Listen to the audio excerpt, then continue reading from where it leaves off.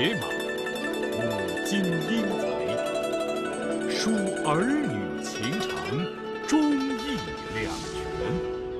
敬请收看《名家书场》。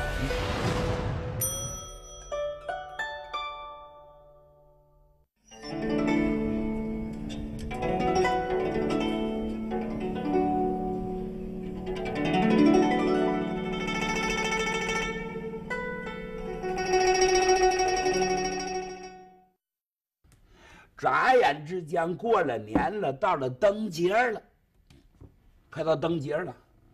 薛刚掐手指头一算计，已经软禁了九十多天了，一百天快到期了。一算，哎呀，嗯，过了十五我就恢复自由了，我就可以上街溜达去了，我想干什么就干什么。这回可要出头了，哎，哎，有盼头了。但是呢，他就发现何府上下张张罗罗的，忙坏了，准备各样的灯。这后边花园里头，前厅、左右跨院、银安宝殿、大门口，他虽然没敢出去，他看出来了，张灯结彩，砸着牌楼，比哪年折腾的都凶。他就问一个家人。哎，我你们忙活什么呢？你们吃完饭抹完嘴巴就走，干什么？哎，三绝主啊，你不知道，眼看正月十五上元节呀，花灯盛会了。花灯会呀，皇上降旨了，今年的花灯盛会要胜过往年呢。万国来朝，许多国家的使节。纷纷到京城来看灯来，为此，皇上三令五申，今年不管是士农工商，也不管老百姓，也不管当官的，还包括皇宫大内，都得扎灯，都得扎灯啊！如果灯扎得好，还可以升官，还可以发财，还可以领重赏。比如说当官的，你这灯扎得好。能选中了官升一级，嗯，说是老百姓，如果你这灯扎的出奇，赏白银一万两啊！你今儿太热闹了，十四、十五、十六这三天大放假呀，城门开放，老百姓随便出入，不管你是干什么的，都可以到这来参观灯火。都到可以到这玩来，另外呢，今天还要大赦天下，那个没定死罪的那个，都开始往外放啊，有的还开始减刑，这就叫普天同庆。咱们府里更得忙了，咱是王府啊，王爷跟侯爷吩咐下来了，今年呢，在咱们府门外还要搭一座大灯楼，听说各国使节到这还要看一看来。破费老了钱了！哎呦，薛刚一听，这心呐熟了。倒霉，倒霉啊！我要提前几天呢，我就到了一百天了，我也可以到街上去关灯去。现在还没到一百天呢，出不去。这就十五、十六，我也出不去，瞪眼看不着这个热闹。哎，忍着吧，这么大喜庆的日子，我什么也看不着，以后再说吧。他就瞪眼瞅着家人们像穿梭一样啊，有的那个牌楼大多高，在院墙都能看见。咱就这么说吧，到了上元节。正月十五正日子这天的晚上，华灯初上，那家那京城跟登山相似，外边是锣鼓喧天。就这位薛三爷在屋闷着，薛刚急的一会儿探头听听，一会儿看看。哎，不让我出去没关系，我在墙头上蹲着行吧？居高临下，我在这看热闹可以吧？就这么的，他搬了把凳子，蹬着凳子，他上了墙了，趴在墙头上往外看。哎呦，街上那个人呢，跟潮水一样，每人手中都提着一盏小灯。嗯，你看国家的号召什么呢？老百姓都随着，有提的是走兽灯，有提的是海鲜灯，哎，天上飞的。地下跑的，草棵蹦的，水里浮的，各种奇形怪状的灯全有。大人也提灯，小孩也拿着灯，八角的、四棱的、八卦的、阴阳鱼的，呵，各式各样是奇形怪状。离远处一看，跟登山相似。那是什么地方？怎么那么亮？按着方向判断。那是五凤楼啊，皇宫前面的五凤楼啊。听家人们说，今年皇宫里头也扎灯啊，那灯花样都翻新呐。哎，我这要到五凤楼去看看，得多高兴！去不了啊，哎，就在这看看吧。他这个荷花大街呀，咱们换句话新词儿来说啊。这街比较背，人呢比较少，要不是过节的关系，没这么多的人。为什么呢？一些当大官的府邸都在这儿，大官的府邸一家挨着一家呢。哎，这个地方一般闲杂人他没有，所以你要看真正的热闹，你在这儿你看不着。薛刚心里头琢磨着。我要跳出去到街口去看一眼呢，我什么都看见了。哎呀，我也没跟家里头请假，我出去谁也不知道。我呀，我出去看看去。我就到那路口，看一眼我就回来。我爹娘怎么能知道呢？再这时候我也不惹祸呀，就是我爹娘知道了，那我看看热闹，大过节的也不能怪我。就是这个主意。把腰里的带子系了系，帽子摁了摁，靴子提了提，周身上下紧沉利落，噌，一窜上了墙头，双腿一飘，噌，跳到街上去了。家人们呢都忙着呢，谁也没顾及到这手啊。这爹出来了，挤进人群，呼啦呼啦呼啦呼啦，往这儿看看。往那儿看看，高兴的不得了，哎呦，真热闹，把愁事的全忘了。他心里想的挺好，我就到街口，看一眼我就回来。但是到了街口的那个人呢，哇，把他挤到人流之中，想抽身也出不来了，就随着这人流往往前挤挤挤挤挤挤，越走越远，是越走越远。把回府的事儿忘了，干干净净。要不怎么年轻人？正看着呢，他突然想起来了。哟，什么时候？快半夜了吧？我爹娘肯定是没在府里头，一定陪王伴驾。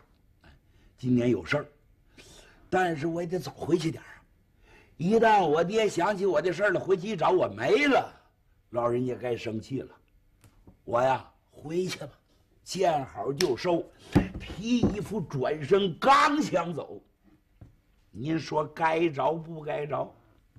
该着出事儿了，就听见女子尖叫的声音：“救命啊！救命！”啊！一会儿恶奴。架着个姑娘，姑娘的衣服全都拉开了，披头散发，架着往胡同里跑。后头跟着个小子，这小子是歪戴帽子，斜瞪眼儿，手里拎着鞭子，嘿，那嘴撇的跟八万差不多少。黄毛丫头，不听我的，行吗？在这京城之中，爷爷跺一脚，地皮都颤三颤。就凭你不听，一会儿我再收拾你。哈哈哈。嘴里叨叨咕咕往前走，后头跟着一大帮，有个老头追上来了。哎呀，少爷呀，少爷饶命啊！少爷饶命啊！小女太小啊，年方一十六岁，是个孩子，您就高抬贵手把他饶了吧。我说你这老东西真找揍啊！你那么大姑娘了，本少爷喜欢上了，玩玩算什么呢？啊，薛刚那是什么人呢？替天行道，除暴安良，性如烈火呀！一见这种事情，心里清楚了。哦，养男霸女，胡作非为呀！这是天子脚下，大邦之地，藏龙卧虎，这是有王法的地方。大节日的时候，你们竟敢公开的胡行，这还了得吗？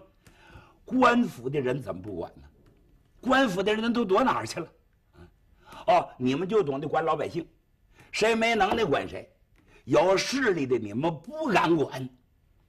薛刚等想到这是怒满胸膛，眉毛就立起来了，什么都忘了啊！臣往前一窜，把这公子给拦住了，站！你们这干什么？我那边把那女儿放下，把那女人放下，别走！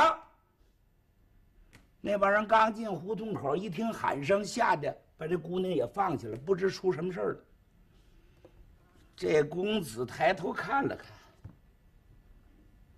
看，啊，你呀，认识认识，哈哈，你不是薛刚吗？哎呀，好啊！前者你把我父牙都给打掉了，嗯，我父亲开了恩了，没追究这件事儿。听说把你带回府里头去了，闭门思过百天。我说你怎么跑出来了？你跑出来欢子罢了，你跑到这儿管起少爷我的闲事来了。你给我滚滚！你再多管闲事，我马上告诉我爹，奏明天子杀你个二罪归一。滚！薛刚一听，哟，他认得我谁？他是？你是什么人？我什么人呢？当朝一品大员，嗯，右班大丞相张天佐是我爹。我是花花太岁张宝是也。花花太岁张宝，薛刚早有耳闻呐。哦，听说有这小子，京城的一霸呀。那坏事简直做的就太多，干嘛呀？他看什么灯？什么灯他都不想看，他就借助人多的机会看少夫长女，专门在女孩身上下功夫。每一年就这个季节，每一年这时候，那坏事的没少做。今天就安着这个心，正好乡下老头领着姑娘来看灯来了。那小姑娘挺纯洁，长得挺好看，让他看中了。跟人家讲好价钱了。这姑娘陪着我住一夜，我给你二十两银子。你老头能干吗？人家不干就打人家，人家不答应就抢人家的女儿，这是往府里头嫁。那位说，似乎你们说哪一套书上，怎么都有类似这样的事儿？对，几乎都有。因为这个事儿他有啊，我们说的几乎都有这个事儿，比那事实上的事儿要少的多的多的多。这些纨绔子弟，仗着老子当大官爹有势力，哎，越来胆子越大。所以古往今来，就这种人是最遭恨不过呀。嗯，那说薛刚爱管闲事啊。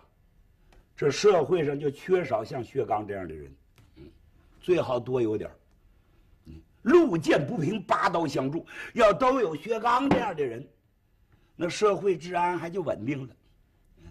就怕很多人光看热闹不敢管，都在那旁边冷眼相观，恐怕祸及自身，那不就完了吗？恶势力就抬头了。那薛刚见不得这个，薛刚听他报完名之后，劝他把这孩子给放了，还则罢了，不放，今天我不答应。三说两说，说差了，当场动手。薛刚的脾气性如烈火，挥动双拳呢，啪就是一个通天炮，把这张宝揍的，我的妈呀！当当当当当当，一个跟头摔在那儿。恶奴往上一闯，薛刚抓住手腕的一个倒背口，嘿，咵一个，一抬腿腾又一个，一晃拳头躺下六个。他那家多大能耐？那是一头虎啊，那是。打的这些恶奴是东倒西歪，光顾这事儿了，那姑娘这才获救啊！姑娘赶紧把衣服整理整理，把头发往后梳了梳，见着他爹跑了，也没顾得问薛刚叫什么名说两句客气话，没那时间。等以后再说吧。他们跑了，薛刚还没完呢，心说：好你个张宝，留着你。人间的祸害，你不是糟蹋这家的女孩，就是糟蹋那家的女孩。今天我把背着你，我好好的教训教训你。儿往哪里走？我追下来了。张宝这下在头前跑，哎呀我的妈呀！跑着跑着一回头，哎呀我的妈呀！又追下来。那家叫薛刚把他逮住，他还好得了。他东一头西一头，您别忘了灯节哪都是灯，哪都是人。这小子跑，薛刚抓他不好抓，竟人的，他滋溜钻到人群里头去了。薛刚还得找他，事情也该该着吧。这小子跑来跑去，跑到五凤楼来了。五凤楼就是晋城啊，就是皇宫啊。前面一座楼叫五凤楼，嗯，今天没说吗？花灯盛会，格外隆重。皇上降旨，普天同庆，万国来朝，各国的使节都来祝贺。你想多隆重啊！这五凤楼就成了中心地点了。五凤楼的周围呀，搭的那个牌楼，搭的那个灯楼。高耸入云呐，一分都分几十层，各种灯，啊瞅着是眼花缭乱呐。今天皇上、皇后、嫔妃，哎，宫娥才女，所有的东西吧，连太监都算上，随便关灯，抛出值班的之外，都上了五凤楼了，趴到栏杆这儿，往下看看，往这瞅瞅，往那儿看看。叽叽嘎嘎，笑语欢声啊！底下有棚灯棚，灯棚里头展示着各种宫灯，这是皇宫里头的宫女、才人们制作的灯，上头标着名呢，都等着领赏呢。所以呢，灯一眼都望不到边呢。在这里头有一个小太子，小太子谁生的？武则天所生。现在武则天还不是皇上呢，还是皇后呢。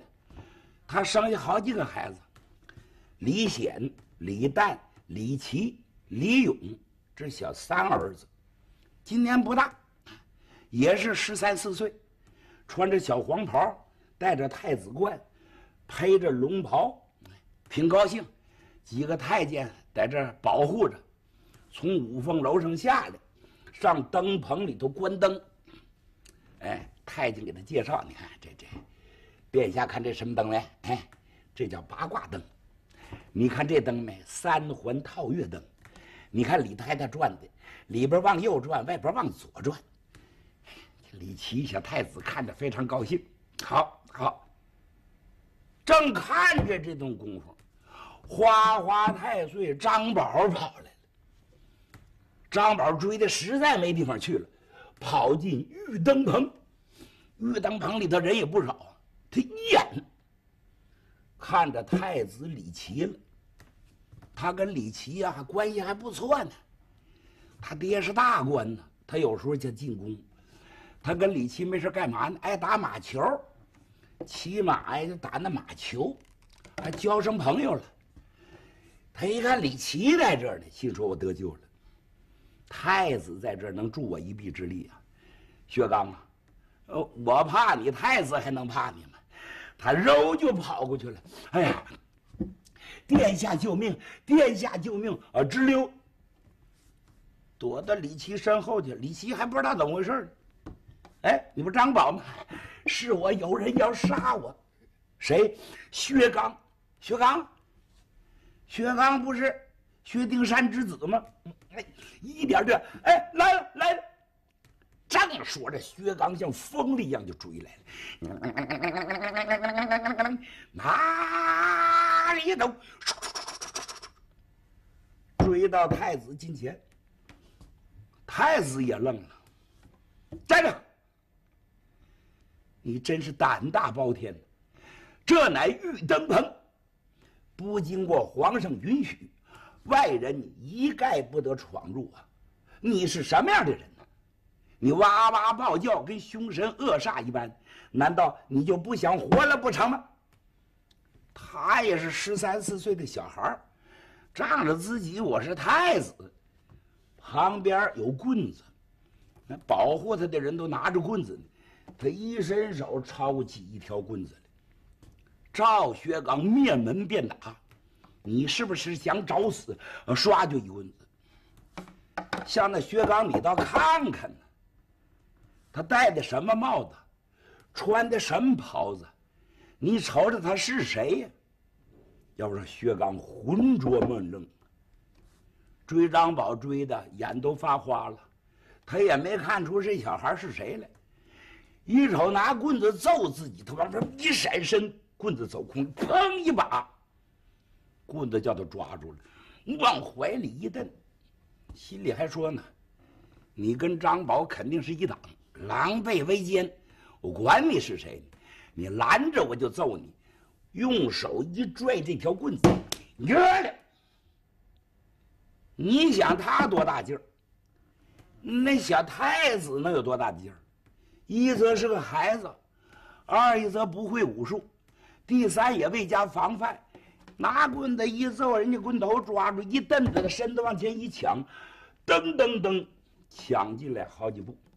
薛刚一手抓棍子，把这脚就抬起来，砰，就这一脚。那脚有这么大个薛刚的脚啊，多大的力量！跟老师学艺的时候，踢过百木桩子。把那百木桩子一半钉在地底下，埋去，上头露着一半，两大溜，没事练习这腿上的功夫，梆梆左右开弓就踢。一开始踢还差，以后踢到什么程度？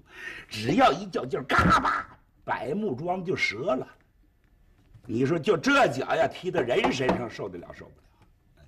何况是个孩子，这一脚正好踢到裆上头。男人最重要就这裆，这受不了这啊，啪！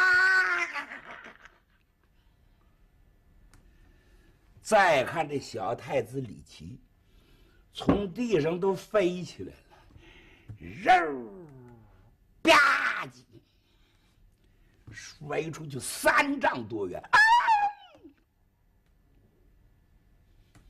七窍流血，顿时毙命。一脚就给蹬出去了，棍子抢过来，就听有人喊：“哎呀，殿下，太子，太子被人踢了。”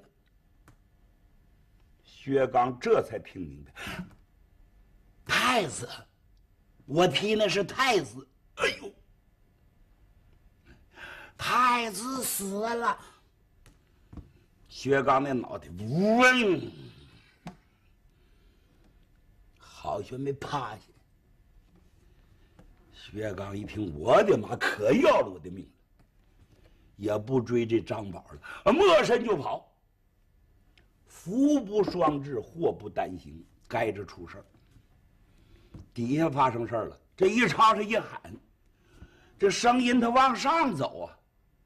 玉登棚就在五凤楼下头，五凤楼那楼上头，全都是嫔妃，三宫六院七十二嫔妃，宫娥才女，高宗李治、武后都在这儿看热闹呢。